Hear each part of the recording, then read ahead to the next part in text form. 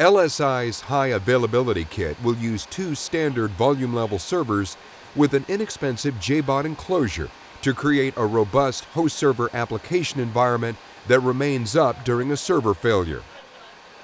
The configuration is easily implemented and managed with the Microsoft Windows Server 8 clustering software.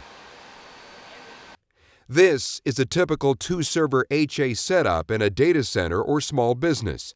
In this setup, the client's or end user system connects through a switch via Ethernet to Server 1 and Server 2.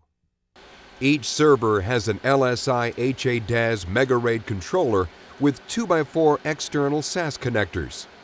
The connectors cable out into a JBOD storage enclosure redundantly.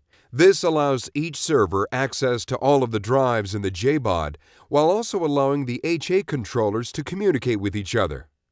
With the Microsoft Windows clustering software running, Server 1 and Server 2 are each supplying the client with a separate application, in this case a video, each one sourcing different drives in the JBOD. There are two different cases where applications will need to failover.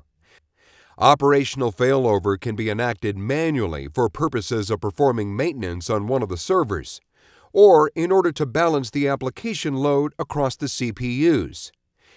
Incidental failover happens automatically when one of the servers running an application stops functioning. For operational failover, we will move an application running on Server 2 over to Server 1. Using the Microsoft Cluster software in the Services and Applications window, we right-click on the application file system that we are moving to Server 1. Select Move the service or application to another node. Click Move to Node Server Node 1 and click one more time to confirm. An hourglass will appear in the status category with the word Pending. After a couple of seconds, the application will move from Server 2 to Server 1 with little or no interruption to the application. For incidental failover, we will start with our applications running on Server 2. This time, we will terminate Server 2 abruptly. The Services and Applications window will track the failover transition.